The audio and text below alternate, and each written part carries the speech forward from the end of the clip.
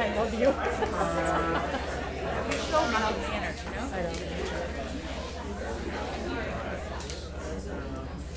It's good. This is the interview section of our presentation. Okay, so what we did uh, first half was just kind of give you guys a history of, Dawn's business and kind of how she got to the point she's, she's at today.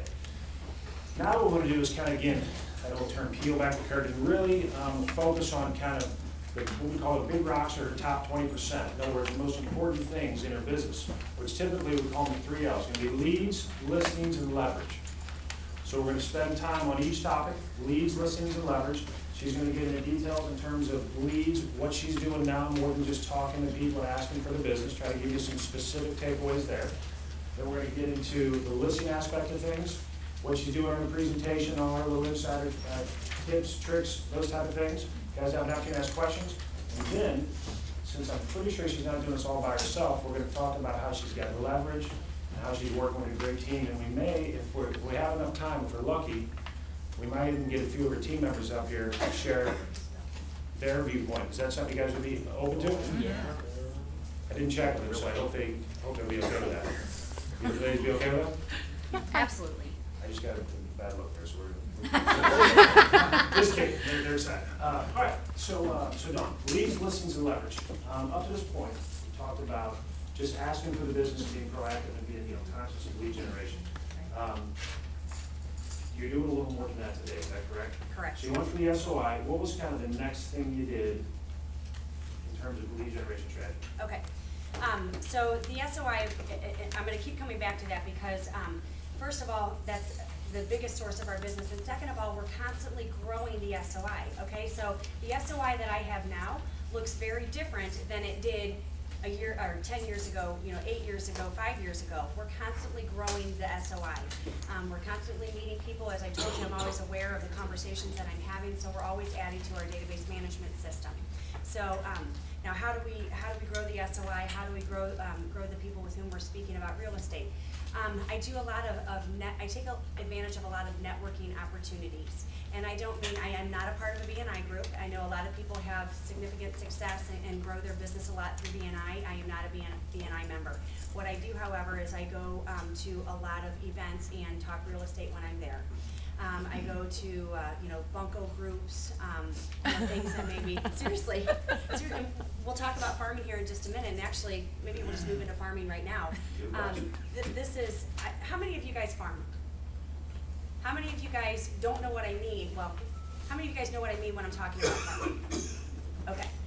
When I'm talking about farming, for those of you who don't, um, I'm talking about really picking out, um, a neighborhood, two neighborhoods, five neighborhoods, however big of an area that you wanna farm, and really making that a focused, um, part of your lead generation, okay?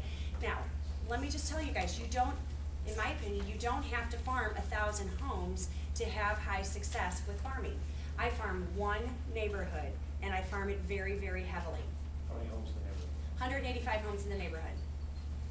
Okay, now, first of all, I'm gonna tell you guys, I do live in the neighborhood, so that was a question that somebody had asked me of, uh, what, what if you don't live there? And, and these, some of these tactics that I, was that you, Peg, that asked that? Some of these tactics that I use, you don't have to live there to do it. Living there just made it really easy for me to decide that that was the neighborhood in which I was gonna farm. And I actually started farming about five neigh- five neighborhoods that equaled about eight hundred homes or so, and realized I really wasn't getting the return that I was on this one neighborhood, so that's where I really focused. So, um, now, again, this neighborhood is a new, it was new construction when we started. Um, and so, uh, I was one of the original builders in the, in, in the neighborhood. When, um, when everything got started, it was a new neighborhood, so we started having committees, right? Guess who volunteered to be head of the social committee? Oh, I know, shocker, right?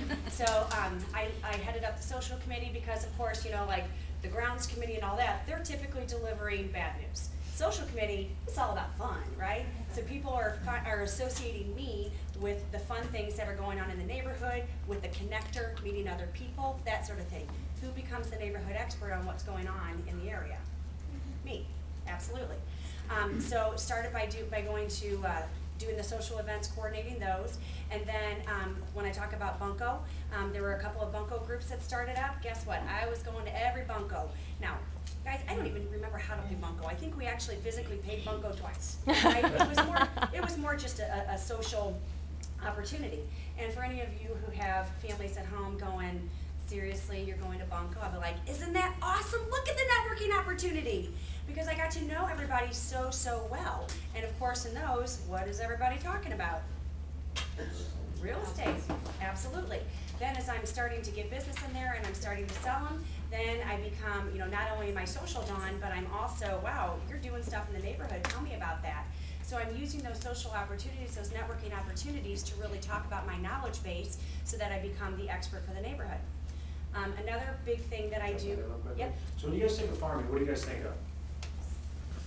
Mailers. Mailers, right? That's what I'm thinking, when I think of farming, mailing, and identify an area and I'm mailing. Has she really mentioned mailing in, in how she's working farm right there? Not yet. Now, I'm sure she's doing some mailings, but what I'm hearing is that she's out there focusing on a, you know, not a demographic, but a geographic area, and it's still relationship, it's just targeted to a given area. So I think that's a very key point, it's not just, she didn't just identify an area and start mailing, and I, you know, six months, I've sent out seventeen things, I got nothing. She's out there interacting with people. Right. As kind of the lead, and then I would imagine that the marketing that comes behind it is supplemental, that's like, oh, that reminds me, yeah, we had a great time that night, or whatever. Supplement, as opposed to being I'm, everything. I'm building the relationships first, and What are you then doing I'm first? building the What are relationships. you doing first? Building the relationships. Why is that important? Because real estate is a relationship business. Relationships first, you might as well write it. Yeah. So, um, building the relationships with them. Um, so what we also started doing, I think was probably the second year that the neighborhood was in effect, um, was, was built, which was probably, I guess, two thousand and, two thou- uh, probably two thousand and seven, beginning of seven. I started sponsoring the neighborhood garage sale. Twice a year, I do a spring and I do a fall garage sale. And now, you guys, people are absolutely addicted to my neighborhood garage sales. Two months before I typically have them, it's the emails, the text messages, the phone calls. When's the sale gonna be? When's the sale gonna be? Things get busy and I get a little bit late. Seriously, Dawn, when's the sale gonna be? I mean, I cannot not do the sale. Are you kidding me?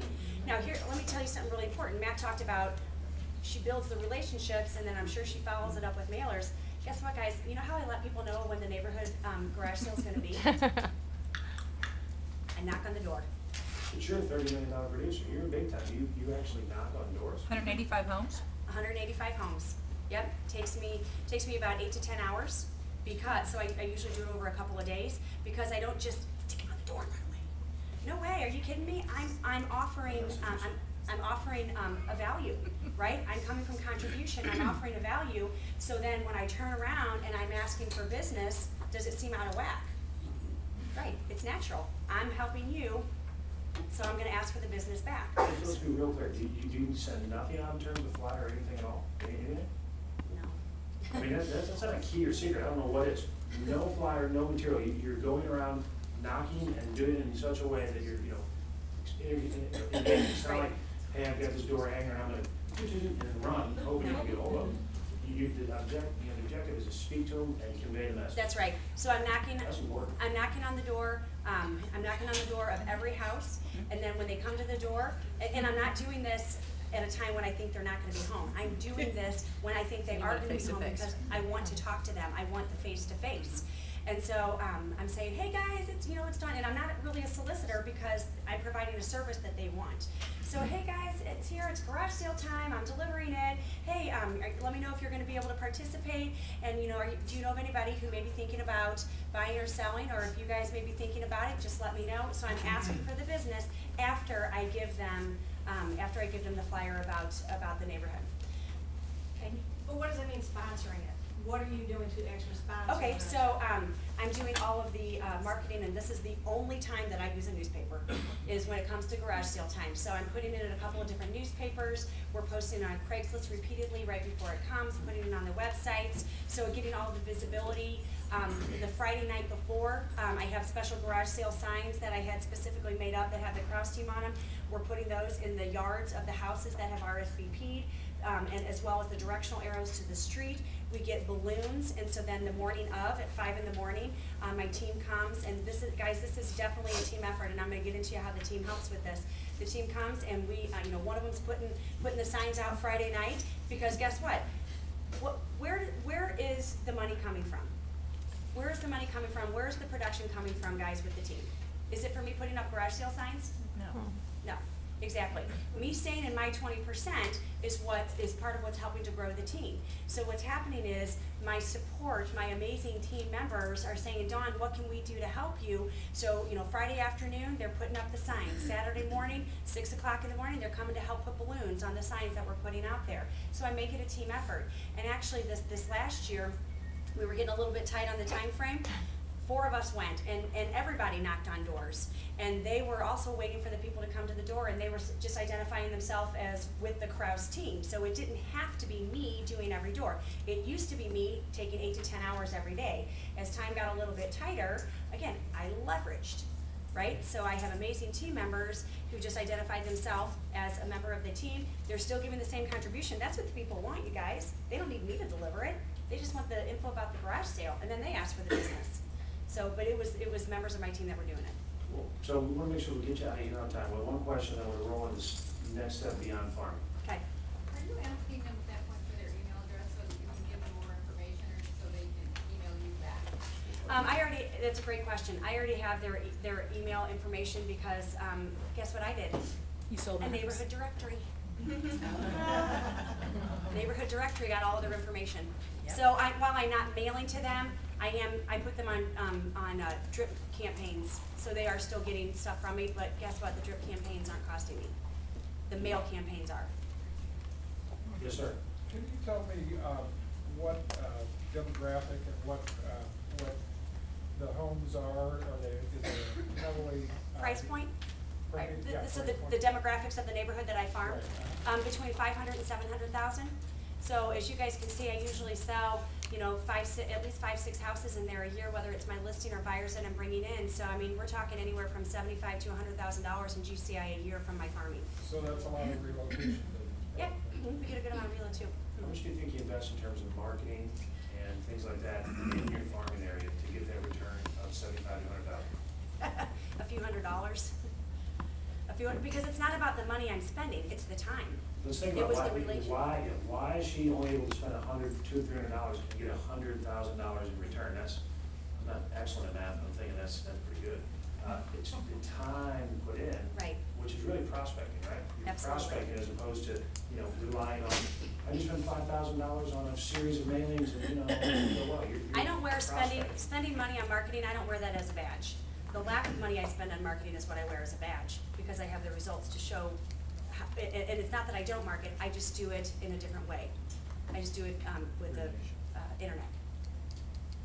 Um, kind of question, a little bit more serious influence, um, say you start out in business and you have five to seven hundred names with phone numbers and email. What would you do off the bat to start that off? Okay, so, um, the question was, starting in the business, five to seven hundred names and emails, what do I do with that information, right? Database management system, for sure. Whether it's, depending on what, what company you're with, or whether it's top producer, eEdge, whatever the, whatever database management system you learn and you're most comfortable with, I would absolutely put them into a database management system, because what that's gonna do, it's going to systematize your follow-up with these people. So it can be, um, putting them on a thirty-three touch, which is like a marketing thing where you're, you're touching them every, um, thirty-three times in a twelve-month time period. So, um, because that's about staying top of mind. Um, so it's, and, a lot of that is done automated, in an automated manner through, um, putting them on this thirty-three touch through the database management system. It's when I start touching base, um, when knew was asking about, hey, you talk to somebody and then all of a sudden they're doing something else, what happened in between here? Where was I or was I not touching them? So some of it's via, um, via email, some of it's me picking up the phone, um, quarterly and, and calling these people. Um, some of it is handwritten notes. So the, the management system tells me what I need to be doing to touching, to be touching them. Because people say, oh, I follow up on my leads, I follow up.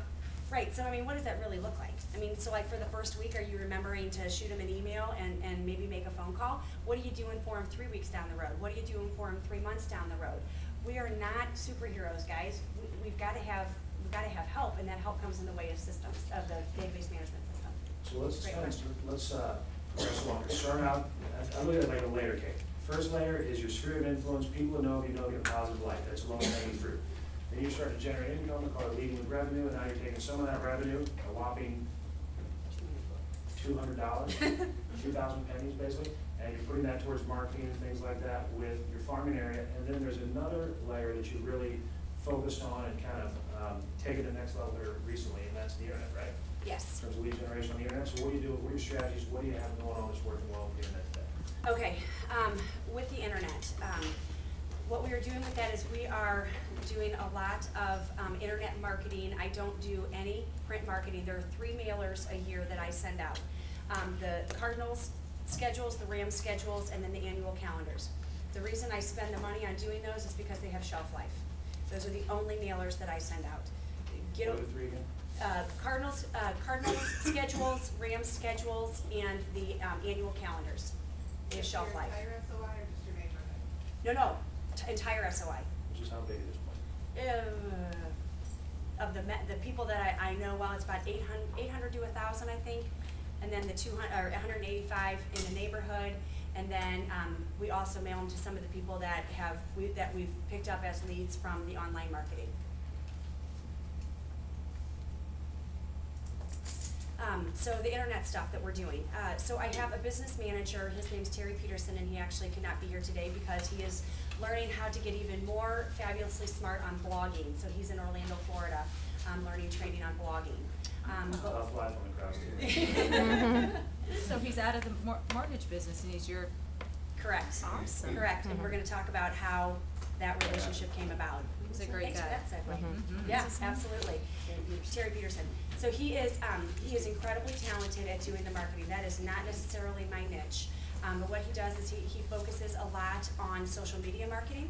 So every listing that I take now, guys, um, I actually ask them, do you have a Facebook account? Do you have a Twitter account? Do you have a LinkedIn account? And the reason I do that is because, um, the team will actually post, uh, their listings, we do, uh, professional material, um, via the, the, internet. Um, and we email them, we can email them the e-flyers that they can then send out to their sphere of influence, to the people that they know and that they work with. Do you think that's pretty good publicity? right, that's Right, awesome. absolutely. Um, we will also that post, cost? that costs us nothing, zero. Nada. Nada. Um, then we also will post, uh, their listing to their Facebook, Twitter, LinkedIn accounts. That costs again, nothing. And uh, now we're not posting my other listings, just their listing. But then, of course, everybody that they're friends with, all their connections are not only seeing their home, but they're also seeing our branding. Um, Diane? Do you have two different Facebooks? Do you have a personal and a business or just business? Yes, so the, the fan page and then the personal, right, correct. Mark? Do you commingle those with a lot of real estate on your personal page? Commingle. I, I do about this much on my It's not good Facebook, word. Mark. But I, I, no, I don't. I should ask the girls. Right, exactly, exactly. Um, they, they post all of the inter, all the real estate stuff just to the, to the, the business side of things. Business side, okay. Yeah. We used to do it on my personal, and then Terry said, no, no, no, no, no, no, don't do that. Right. Uh, Craigslist, we do a lot of Craigslist, um, a lot of Craigslist postings. A Lot of Craigslist postings. And just so you guys know, that there's, the heavier times for the Craigslist, um, visibility is, uh, six to seven AM, two to three PM, and six to, um, yeah, six, two to three PM and six to seven PM. So So rotating your, when you post matters. right, when you post matters, frequency and when. And what was that again, Dawn? What was the time for that? Six Uh, to seven? Six to seven, two to three, and six to seven. So I'm told, this is all the stuff Terry tells me. I'm sure you guys have a lot of questions in terms of lead generation. We wanna make sure we're respectful of your time and getting you out of here on time. We've got a lot of stuff to cover. So if you guys have other questions and things like that, I'm sure if you email Dawn, she'll be able to help you or talk to her afterwards, if you're gonna be hanging around a little bit. Yeah. So we wanna keep the kind of pace moving along. What we'll do is switch to listings. So let's talk a little about listings, you know, why do you focus on listings or do you? And then let's talk a little bit about, you know, how you go about handling listings. Absolutely. Um, listings are, are huge. Listings are, um, are. I you guys following along, that's great, I love that. Can you guys hear me okay? Am I loud enough? Okay. Um, the listings are, that's the bread and butter. I mean, that, that is, listings equal leads. Without listings, you've gotta work a heck of a lot harder to get leads to grow your business. Listings are where it's at. I love listings. When did you kind of figure that out? I mean, you said earlier you work with buyers initially, was there a point in time when that clicked? Or, you know, what was the mindset shift to focus on? That, that, that actually probably clicked when I was hit, when I hit that ceiling and I was going, there is not another minute in this day. I'm not sure how in the world I am going to grow my business anymore. Ding, ding, ding, perhaps if the focus becomes more on listings, that will help, and it did. So the really, the, the business really started growing exponentially when I really put more of my focus on the listings. Um, like I said before, you know, I can, I can work with, you know, ten list, ten sellers, talk with ten sellers in the same amount of time it takes me to put one buyer in the car and show them ten homes. So which is a better use of my time from a grow, business growth standpoint? Right. sellers, right? So, um, focusing on the listings, I know I'll get to you in one sec. So focusing on the listings has been a major game changer. Now, again, biggest part, guys, it's great to have these leads to go take listing appointments. What do you have to be able to do at a listing appointment? Get the listing. Gotta be able to get the listing. Nail it. How, how is it that you get the listing? What gives them confidence to be able to wanna list with you? Scripts. Scripts. Your presentation. Scripts and, di- eh, scripts, guys, all scripts are, are the answers to frequently asked questions. If you really think about the objections that people give you when you're in a listing appointment, I mean, really, the, the source of those, how many really are there? Five, six, seven, eight, I mean, the main things, pricing, uh, commission, um, staging, I mean, it's really the similar objections that you get. So it's about being very scripted, again, having the answers on the tip of your tongue when you're in these listing appointments. And when, and, and this is, this is how I became very proficient at taking listings, is when I go in there, I'm so used to answering these questions. I got used to some of it by just doing it, some of it doing the, the, the role playing, um, with team members, with myself in the mirror, whatever the case may be, so I could kind of see how my body language was coming across. When I say in the mirror, it's not because I'm vain and wanna see how I look when I do it, it's about looking at my body language, so I can see if I'm exuding confidence. Because when, when exuding, when you do things very well and you can do it over and over and not have to think about it, that comes across in a very confident manner. And when those sellers perceive that confidence, they're like, "Ooh, man, you know what you're doing. That's critical. Do you know that seven percent of communication are spoken words? Seven percent. So ninety-three percent is body language and other things, so. Fifty-five, fifty-five percent of it is your body language, thirty-eight percent of it is your intonation. So that's why when I say that, you know, I look at my mirror sometimes and look at how I'm, I'm coming across, because that's over fifty percent of how they're perceiving me. And perception's reality. So what I wanna do is I wanna walk, I wanna walk everyone through kind of your process here. We love the questions. I, I think if we can get through a little bit here, we'll probably answer some of your questions and then we'll circle back. Does that sound fair? Yeah. All right, so let's say, um, a lead comes in and, you know, you've got a couple types of leads. Ones that are, you know, I'm glad you called, I want to, you know, let's list the house and set the appointment. And then other ones where I'm assuming you follow up. So let's talk a little about, you know, your process for staying in touch with them. And then once you get an appointment, we're gonna talk about what you do before and then after the appointment. Okay, so, um, when, we already talked about the leads, working the leads through the database management system, and then when somebody calls and wants to talk about listing a property, first thing I do is I do a, a pre-interview, um, a pre-listing interview with them. So I, I used to do it, guys, where I'd be like, on the fly, and this and that, and I'm like, okay, yeah, I'll be there on Tuesday at three o'clock, boom.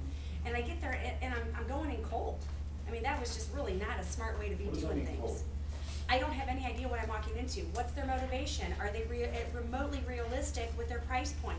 Are they upside down on the house? I don't know what I'm walking into. They're pre-sold on you and your services. Absolutely, Right. right. So, so let's, let's go through that, um, that call beforehand. What do you, what do you say? Okay, so on the Is it call. you, it a team member? No, actually, it's me. It's me, um, that's doing the phone call.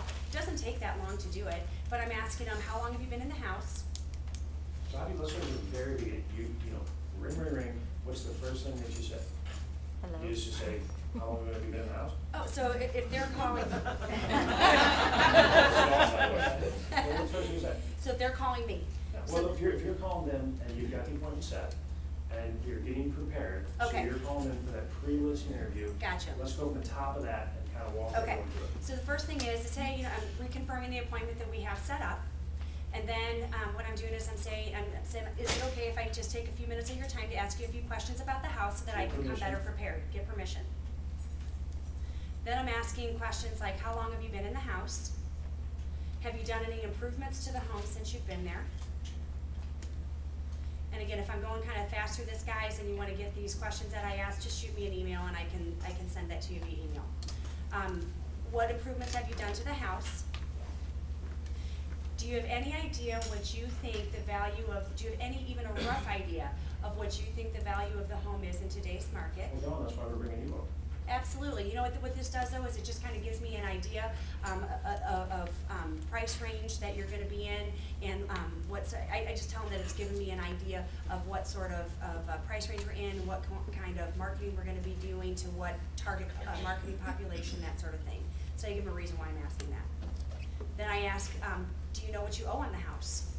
And sometimes people get a little like, really? And I'm like, hey, you know what?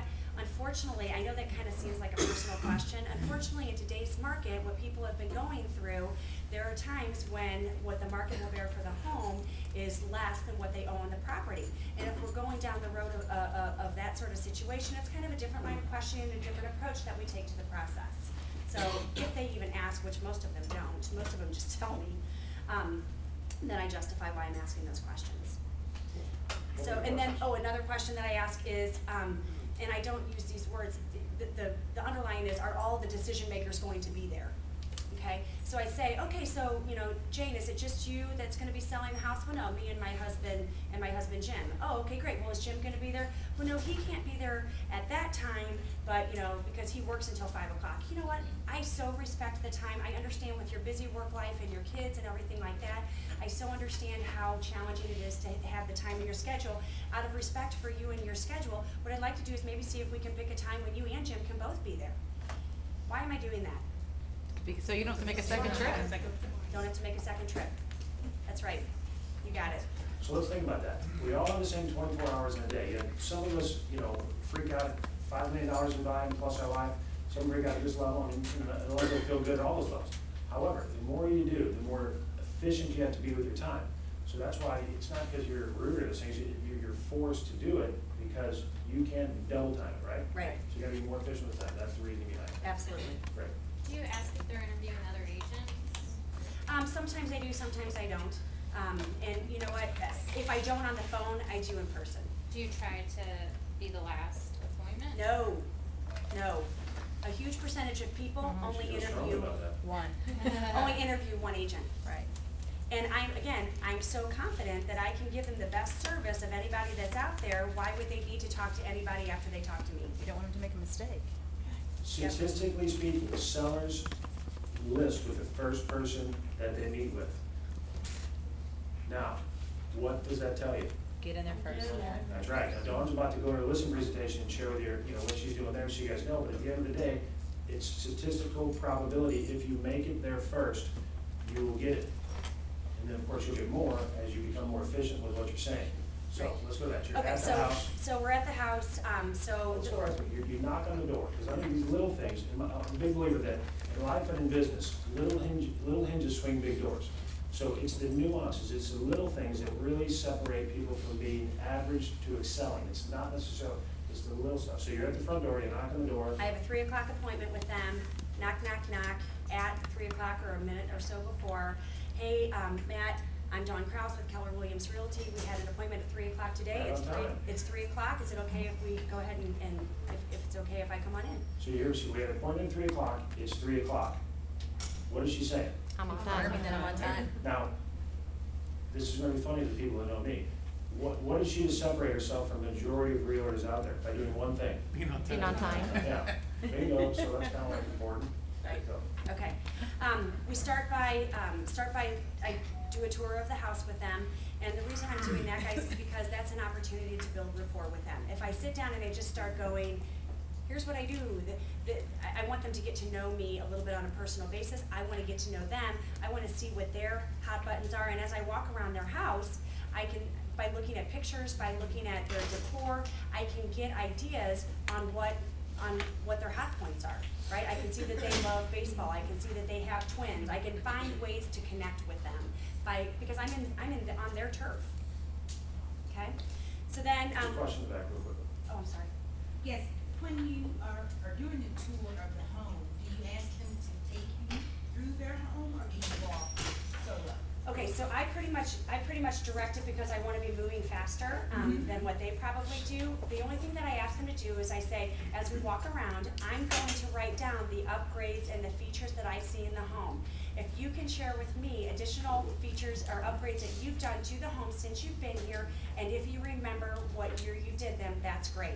So I'm really only asking them to tell me about it, if it's an upgrade they did and when they did it. Um, okay, so then after we go through, after we do the tour of the house, we sit down. And here's a big piece, guys. I don't just sit down and start going into my listing presentation. Because guess what? This appointment is not about me. This appointment is about them. I stopped assuming long ago that they wanna hear everything that I think that I wanna talk about. So when I sit down, before we get started, I say, hey, you know what, before we get started. I don't want see your work, so I buy it.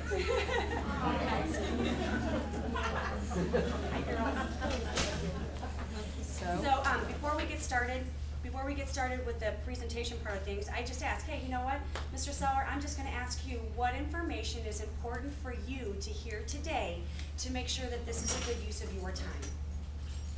Is it the- on the pre-listing you asked or only? No, when I'm there in front of them. Say that again, please?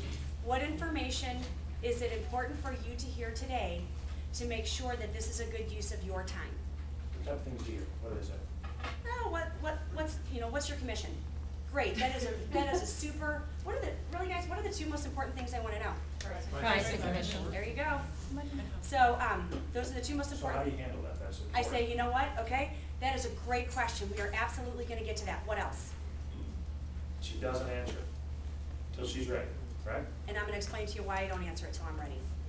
Um, so then they tell me the other things that they wanna know, and I go, okay, great, awesome. And oftentimes it's my marketing, right? So even if they don't say my marketing, I say, you know what, if it would be okay with you, I'm gonna go ahead and go through my marketing here real quick, and then we're absolutely gonna hit on the other questions you asked, which is the pricing of the home and the commission.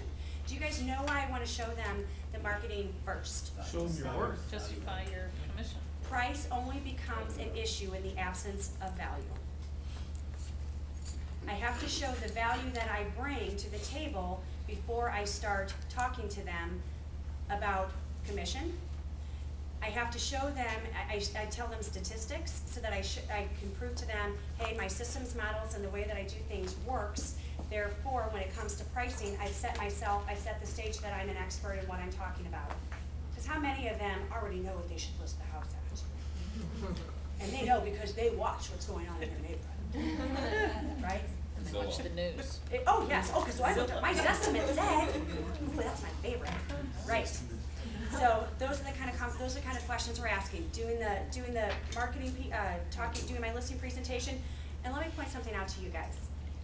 In three years, I have never left anything at a seller's house except my business card. I leave nothing. Three years or the whole, whole time? No, three years. Yeah. Yes, because when I started becoming more focused on my business and having the mindset of a business owner, I started going, I need to watch my expenses. Seriously, guys, how many of them actually leave, read your booklet that you're leaving them? Seriously, they don't. What about a pre-listing presentation? Do you send them a pre-listing presentation? I intend to start doing that. Do I? No. Should I? Yes. Thank you for calling me out on that, Deborah. so, um, I don't leave anything with them. And you guys, I've never had anybody say boo to me about it. Never. I do. You just said a few minutes ago you don't do any open houses. How do you handle those kind of objections as they come along? Okay, great.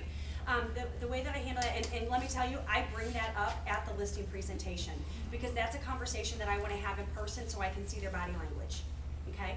So I've just talked about my value prop, I've just talked about what we do and don't do, um, and then I ask them, if they don't ask me, I ask them, what are your thoughts on open houses? And they say, well, it's kind of gonna let you think about that. Or some of them will say, well, yeah, you know, I'm great with that and we can do it. Da. I say, is it okay if I kind of just give you a little bit of my perspective on those? And of course, they always give me permission to do that. And I say, here's the deal with um, open houses. The National Association of Realtors, or NAR, statistics show that less than 1% of the time is it an open house that sells a home. Less than 1% of the time. It's typically your neighbors, it's tire kickers, it's people looking for decorating ideas, it's not where your, where your buyers are coming from. Another NAR statistic is that those people who are actually buyers are actually looking twenty to thirty percent outside of their price range. Driving around, see a pretty house, go in and go, oh, we can't afford that. Do you really want, and, and so I say, I'm having more, I'm validating, I'm having more and more of my sellers move away from doing opens because they're getting frustrated at taking all the time to clean their home, just to have the neighbors come through to then tell, and, and not active buyers. The other piece of it is, in case you haven't heard, financing is getting a little bit tougher. So really, we know we've got statistics showing that it doesn't sell homes, it's not qualified buyers coming through, we know it's harder, and with the team structure that we have set up, and again, use whatever value prop you have, there will never be a time when a qualified seller, if they don't already have an agent, won't be able to set an appointment with me to get in and see your home. So I just count them right from the beginning. So not only you, but your buyer's agent don't do open houses? Um, when we are looking, when, when we're looking to ramp up the lead generation, David, then we do, um, then we, I will have, the buyer's agents will do open houses, but again, we're controlling that. We're not having sellers going, when are you gonna do my next one? Why aren't you doing this? I discount from the beginning, and then if down the road we bring it up, very rarely do they say, but wait, you said to not do it. If they do call me back up and I go, you know what, yeah, activity hasn't really been exactly where we wanted, so we thought maybe this could be a surge. And guess what, guess what the greatest way to get the most publicity about that open house is? Reduce your Price price. reduction, so we Wow. control it, So you tie that together. yeah, It's pretty slick. yeah. I Do you ever decline a listing or walk away if you don't want it? um, I have given a couple of listings back after I realized maybe perhaps the guy was just looking for a girlfriend versus a real estate agent. So if, if I don't feel that, that it's appropriate, um, then yes, I have done that. However, no, I mean, I, I typically am taking them, but I'm setting up price reductions from the beginning, and it, it's very situational. I mean, we could do. mean, if you think that, that could- it's a property which has no backyard or, you know, something's really off about the house. it's- Yes, and it's gotta be, it's gotta be at the right price, and they've gotta be very motivated, depends on the motivation. Guys, we're gonna do probably just a couple more questions on this, so we can kinda keep rolling through, I wanna make sure we get to hit everything. Um, that's all I hand over here. Um, Dawn, you said you don't leave any paperwork there. Um, do you bring paperwork with you I- I to bring- go over the pricing? Great question. Thank you. That is a really good question. I bring two things with me. I bring my iPad, which has my listing presentation on it through Drop, I have it on Dropbox. So I bring my iPad, so I'm scrolling through it. Um, and I'm presenting it that way. And then the other thing I bring with me is, yes, I do bring comps with me. Now, this is a great question. Um, as far as the pricing is concerned, if I, if, obviously I know the address of where I'm going right up front. If it's a property in a neighborhood that I know very, very well, then I will come prepared with a price in mind because I know the competition super, super well. If I don't know the area super, and I mean super, super well, because pricing, I mean, who, who, mm-hmm. who can attest to the fact that pricing is like Volatile. but absolutely, it's imperative that you're pricing the property right. So I'm shooting myself in the foot if I don't know those comps backwards and forwards to be able to properly advise them. So what I'm doing is, in, in that pre-listing phone call that I'm doing, I, if I don't, if I know I don't know the neighborhood like the back of my hand, then I'm saying, hey, just so you know, here's my process. When we come, we're gonna look at the house, I'm gonna show you my listing presentation, and then we're gonna, I'm gonna tell you in general about what's going on in your neighborhood. But Mr. and Mrs. Seller, until I look at your home, I have no idea what I'm comping it against. So for me to walk into your house with a price already in mind, I'm really doing a disservice to you and to your home. So I set it up from the beginning that I'm not gonna come in with a price. Then when I'm there, I'll, the paperwork that I bring with me is, um, the neighborhood, and then pulled out to a radius search, so I can show them, um, inventory, absorb, talk absorption rate, average days on market, those sort of things. And what I'll be doing there is saying, you know, guys, look, the average days on market is, you know, hundred and eighty days in here. And, you know, do you have hundred and eighty? Oh my God, I can't do that for three kid, I can't do that, great. So you know how we shorten those? We price the house right, we make sure the house is staged properly, which of course we've already gone over these. So I set, I set the seeds with them to listen to me when I get back to them in a day or two on the pricing, okay? So tha- that's how I use those stats. So, um, and then, and then, um, as we're going through, as we're going through the stats in the neighborhood and the comps, sometimes, you know, if I have somewhat of an idea, sometimes what I'll do is I go through and I show them each one, talk to them about how it's a comparison, and then I go, what's your thought? I mean, after looking at all of this, what do you think you should list the house? Everybody has an answer for me at that point. Even if they were hesitant on the phone, they all, they're smart, right? And I've just shown them all this stuff and they'll be like, oh gosh, well, I thought I was gonna list it that, but after looking at this, because then they, they have ownership in that number. Mm-hmm. And it's not just me, the big bad professional, walking in going, saying a price that's too low, and them going, well, my house is way better than that. No. I, I don't, and I tell them, I say, guys, you know, I know these numbers maybe not what you were looking for. Here's the deal, I don't make the market, I only interpret it, and so, and, and consult you on it. So I let them see what the market is, and then they're much more willing to listen to my number, um, in a day or two. So I think what, a lot of what she's doing is just common sense, you know, people are trying to get the price out of you over the phone and things like that. You know, yeah, how can I possibly give you a price for your home if I haven't had a chance to see it, right? I mean, that's common sense, right? If- Oh, that makes sense. So just common sense stuff like this. So if you wait to give them prices, do you ask them to sign a listing agreement there when, when you're there at your first appointment? Again, feeling them out, um, depending how well do I know the person, not know the person, is this totally stone cold, do they have the kind of personality? I mean, if you've got a, for those of you who are familiar with the DISC, a personality assessment, if you've got a high S and C who's wanting the stats, who's wanting the numbers, if I ask them to sign a listing agreement right then and there and don't have all my ducks in a row, I will turn them off immediately. When I've got a high I who's all about the relationship and the this and that, boy, I'm bonding with them like this, and I could tell them whatever, and they're like, okay, it's on, we're working with you. So it's about mirroring, matching their personality and getting the commitment that way. Great, good stuff. Uh, what about objections? Do you, you know, do you, so you, you know, what we talk about, you say, hey, who's going to listen to, you know, you show up and they they just sign, is that how it works? Yep, not always. Or even with everything you have going, you, you have some objections you, you have to deal with. Absolutely. So, you know, the objection handling is a big, big part of it. Um, sometimes I don't even know what those are until I'm sitting there in front of them. There are times, boy, when I leave an, a, a listing appointment and I am whooped because they have just nailed me every which way on objections. But the, the thing is, is that because I have, I have so much practice at it, I still come across with confidence and can still land the listing. What are the common objections you, you hear, the ones you hear most often, and how you handle them? Um, I think, uh, commission is probably the most common, um, objection that I hear. Now, again, I don't hear it as much anymore because I've learned that I need to show my value prop before I even start talking commission. I will still have people who will, who will, um, throw out there, well, I hear, oh, here's another good one. When we're talking commission, sellers want to feel, how do sellers wanna feel when they're going through this process? This is their home, it's their money, how do they wanna feel? In charge. In charge, absolutely. So what I do, when they start talking the commission question, I've already shown my value prop, I say, you know what, let's talk commission. If they don't ask it, I bring it up. In fact, I oftentimes try to bring it up when we get to that point, because I know it's a hot topic, why avoid it? Um, and again, I wanted, I wanted a conversation in front of them so I can read their body language. So I say, you know what, that's a great question. We typically list between six and seven percent, and I actually let my sellers choose the number. And they kinda go, what? Like, that just doesn't make a lick of sense to them. I go, I know, it seems a little weird. Let me tell you why. So there's pros and cons. Of course, by listing at the seven percent, it's one percent less that you take away from the sale price of the home. Now, keep in mind, um, and I've already talked to them about the breakdown of the commission and, and the seller pays and yada yada. So keep in mind that a buyer is going to do the same amount of work no matter what home they sell somebody.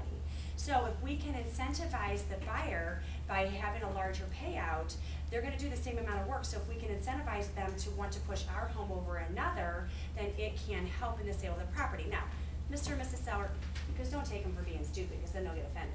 Mr. and Mrs. Seller, I'm not telling you, I'm not gonna blow smoke at you and tell you that you list at seven percent and this is the end all be all, you'll sell like this for full price.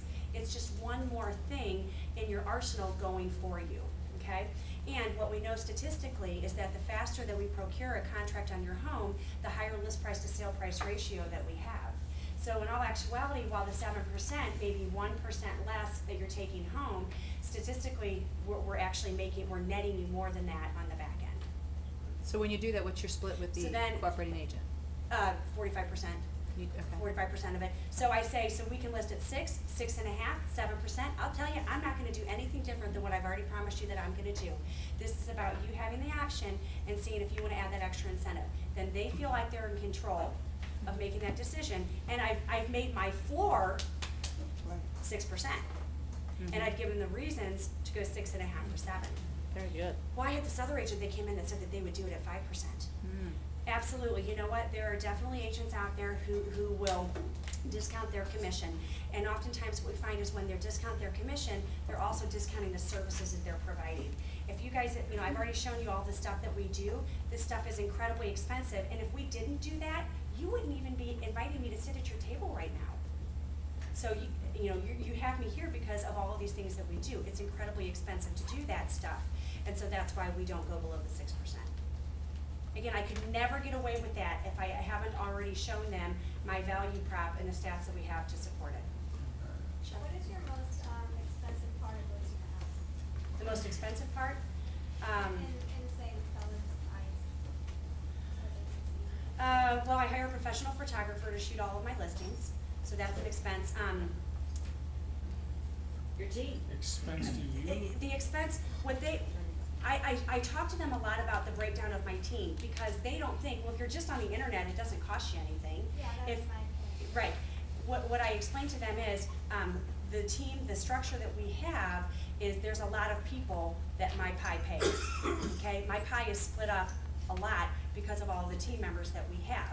And, um, do they care about that? They don't really care about that. What they care about are the results. So the most expensive part is paying my team, so I have to justify why it's to their benefit for me to have this team structure. Can you try and get them to sign a listing agreement with you if they say they wanna interview other agents? I, i- if I feel that there's, that there's an opportunity to close them, then I will say, um, you know, I, uh, I will talk to them about, about doing that, and if they say, well, you know, if I can tell we've connected, we've got that relationship going, pretty sure I'm gonna land the listing, but they feel like they've gotta do that, I'll say, you know what, um, you know, when do you feel like you're gonna be making the decision to list with me, um, so that we can move forward with this? And they'll say, um, well, you know, I've got, you know, I've already set the appointment up for these other two agents. I go, you know what? I totally get that, and I am more than happy to call those agents and let them know, and let them know that we've listed the property and we would love for them to bring a buyer. You laugh at me, I kid you That's not, I've done it. I have absolutely done it. And they're like, really, you would do that? Yeah, out of respect for their time, they don't wanna waste three, minutes. they already know they're gonna list with me, they don't wanna waste three more hours, and I don't want those people to have the opportunity to get in and, and, and try to win them back over. But what about the scenario where they haven't, they're not convinced yet that they're gonna list with you and they wanna interview other agents? Okay, then I will talk to them and say, um, I understand that you're gonna be listing other agents. When you talk with them, anything that they go over that perhaps we didn't go over, or any objections that maybe we didn't talk about, I would really appreciate if we have an opportunity to talk about that before you make your final decision. And then I ask for time frames. When do you feel you're gonna make the decision? And then I say, I don't wait for them to follow up with me. Okay, great, so it would be okay, so it'd be okay with you then if I follow up with you on, by Thursday afternoon? Don't wait, or they could give the business to somebody else. Laura? I have a problem with value, like putting my value to the page, you know, to going into listings and saying what my value is. Uh-huh. And I just, you know, how do you break, like, you don't, don't have a team, so what is your value? What, Great how do you question. portray all your value? Great questions question, sorry, I'm terms of sitting too long. proper amount, the proper amount. Right. Okay, so great question. Use what you have, right? So I have a team, I have statistics, I use that. If one doesn't have those numbers, um, if somebody is looking to nail a listing and doesn't have listings to be able to sell that as their value prop, instead of using I, use we, and use your office statistics. Use your, you know, use whatever statistics will help support the message that you're conveying you know, my office is, you know, here's a great statistic. So, you know, so the, the Chesterfield office that I'm out of, um, we actually just had our office meeting and the, the numbers, the statistics straight out of the MLS were reported to us that Keller Williams Realty Chesterfield has the highest list price to sale price ratio that we are getting for our sellers of any real estate office in the MLS. Now, seriously, are you telling, is that not an amazing statistic for these sellers? So whether you're the one, whether you have listings or not, your office, so we have the highest list price to sale price ratio for our sellers of any office in the MLS. Now, when it comes to, to, uh, when it comes to commission time, and we're going between six and seven percent, and I've just proven to them, and the, the, the MLS statistic is eighty-nine point one percent, and our office is ninety-two point three percent, so that's three point two percent difference. Two hundred thousand dollar listing, I, my office is on average getting three point two percent more, that's what, six grand? And I've, and I'm only asking them for one percent more for the commission? You invest an extra two to make six, four. to make four, yeah. Alright, so let's keep moving along, we've talked a little about team and dancing around, gonna segue a little bit, so, so when you, great job in sharing information, Yes. you got a listing in hand. Mhm. You go back, and then what happens from there? You, you, are you launching all the marketing yourself, or what's the, what's the, uh, process from when you take, Let's let me go. take a second. You have a team, how do you handle this real quick? How do you explain to them that you're not gonna be doing everything? You know, how do you transition to the team? Okay, so I transitioned to the team by talking right up front about, um, you know, we believe, and again, guys, I'm, I'm using, don't anybody take this personally, I'm using what I have, right? So the way that we do this is we say, hey, we believe in, um, rather than jack of all trades, we believe in the specializations in the different re- parts of the real estate transaction. My role in the team is the, um, is the, uh, working with the sellers, the agent networking, and the contract negotiations. Sherry, my listing specialist, specializes in the contract to close and all the details that come with that. Amanda specializes in assisting with the paperwork and getting everything gone through. So I'm basically explaining what each team member does, and I explain again, what do they really care about? What are they hearing? Blah, blah, blah. How is this gonna help me, right? Okay, so what it does is, it, it keeps each of us focused and, and doing things at the very highest level on the different parts of the real estate transaction. So I'm giving validity to the different members of the team that they're going to be exposed to by talking about how it's going to be beneficial to them. Okay? So instead of, so instead of, um, one person doing it all, we've got a team of specialists, and because they do the same activities over and over again, they become experts in that. So of course, that's gonna be better for you. Now, if you're an individual agent and can't use that, listen, I'm an individual agent, now you might interview some other teams, but here's the thing, they're busy, they've got a ton of stuff going on. You never know who you're gonna be all talking to. about me. You're gonna have me all the time, I'll be there morning and night, I will work for you till, so you work with what you have, right? That's right. You know, work with what you have. So, let's go into the team aspect of things. Uh,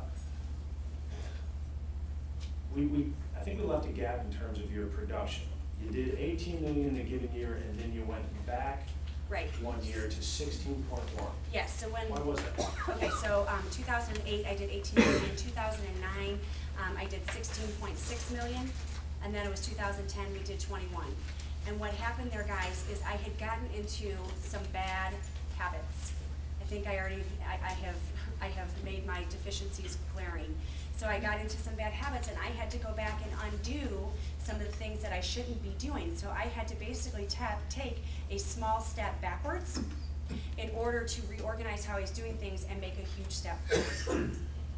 So, let's talk about that. Team, what does your team look like today? Okay, my team looks like today. I have, um, so I'm the rainmaker specializing in the listings. I have Terry Peterson, who is my, um, business manager, and he specializes in the internet marketing, um, and he also does the accountability for the buyer's agents. I have, um, Sherry Wolf is my listing specialist. She does all of the contract to close, and she also helps with some of the seller satisfier feedback, that sort of thing. Amanda is my assistant that, God bless her, helps me with whatever I dump on her plate that day um, as well as getting the listings up and running in the MLS, um, writing verbiage, the marketing, printing out the marketing pieces that we have, developing some of the materials, that sort of thing. And then I have, um, a virtual assistant, um, that, um, works with us with postings, and then I have three buyer's agents. Excellent. Do you guys get all that? How many total members in your team? what's the- There are eight of us total. So go over one more time. Rainmaker, specialize in the listings. Business manager, the marketing, and the accountability for the buyer's agents. Listing specialist, assistant, three buyer's agents, virtual assistant. Before you hired Terry, you did what he did. I did, yes. Before I hired Terry, I was doing more of the marketing and, It's really and, more of a void, really. It was, you Right. the, the stuff that he's doing is more specialized, and Right. just, I don't think it was getting done. But like handling your buyer's agents and everything, that was all on that, you. that was all me. Gotcha. Right, that was all me. I, there's only so many hours in the day, guys. Time is the great equalizer. We all only have twenty-four hours in the day. It's how you choose to use that time that separates you from the pack. Now, Just real quickly, here's the thing, a real estate agent, on average, hundred and eighty-two different things we do every day in real estate. So as an individual agent, we're the butcher, baker, candlestick maker, we're doing it all. However, because time is a great equalizer, as we go on, all activities in real estate are not, they don't, they're, they're unequal outcome, right? So as Dawn gets more and more business, she's outsourcing, if you will, not outsourcing, but leveraging out to team members for less productive activities. And as of today, the main things you're doing, you're seeing rainmaking, essentially you're lead generating at the highest level, and your machine's working to get you appointments, and then you're converting appointments and then you come back and hand that to your team, and then they service it. Right, That's, is that basically what you're doing? absolutely. And what's the other thing you're? Looking for talent. Absolutely. Looking for talent, um, and we're gonna talk about, we're gonna talk about in just a minute how I, how I have been blessed to get into business with the fantastic team that I have. I want to talk There's- about We can talk about that, that. after you make your point. Thank you. And you were gonna tell us about the too. Yes, that's gonna be when we talk about building the team. But here's something, I know some people are gonna have to start leaving, and this is a really crucial point, you guys, that I wanted to make sure that I talked about, okay? The balancing. when we are running so fast paced, we are go, go, go, go, go. I mean, who feels like you're, feels like really is working from the time you wake up to the time you go to bed? How many of you feel like I live in a world of chaos? Oh my gosh, I am whooped. Okay. What is this? Nightmare. Cell phone. A As a nightmare. real estate agent, I like to call this the most critical appendage that we have, right? This is the most critical appendage that we have. Our cell phone is with us everywhere, right? Mm-hmm. How many of you accidentally have left your phone at home, left and gone, my God, I don't have my phone, I'm starting to shake. And how many of you are going, how could you forget? That's like forgetting to breathe. Who does that? Right? Our phone is crucial to our business. So from the time we get up, yep, on the phone, on the phone, on the phone. What's happening to your phone by one o'clock, two o'clock, three o'clock in the afternoon? Battery's dead. Battery's dead. So what do we have to do to it? Charge it, absolutely. So what do we do? We have a phone charger in our office, we have a phone charger in our car, we probably have one in our bag, just in case we end up somewhere where our phone is